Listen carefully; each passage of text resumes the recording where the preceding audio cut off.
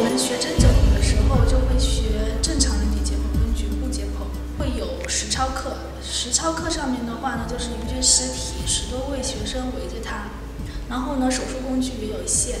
展台也就这么大，并不是每位学生都有机会去上手的。很多时候手误会把血管啊、神经啊就给剪断掉，然后要再把它们重新拼接起来的话，会很困难。但是在 VR 里面，我们就有一个这种立体的框架，我们可以上上看，然后向下，然后向左向右，都可以看到那些内脏器官，包括它的神经血管的一些分布。我们是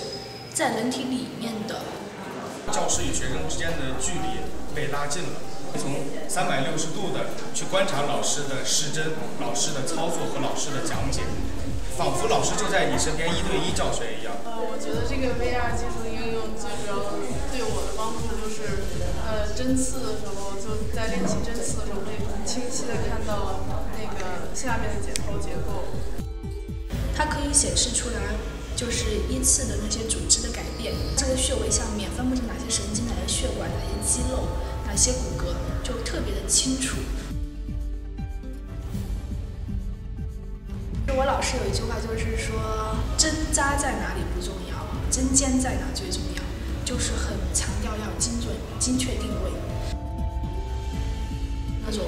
精气的那种感传现象，然后或者一些真感，